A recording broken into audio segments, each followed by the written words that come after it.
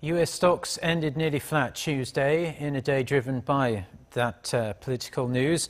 Stocks dropped sharply before midday after uh, the bombshell news that Donald Trump Jr. had released those emails uh, showing Russian support for his father's election campaign last year. It stoked investors' fears that the controversy might hold up the Trump administration's business friendly policy initiatives but the market mostly bounced back by the end of the day after the Senate announced a two week delay to its August recess in order to work on legislation.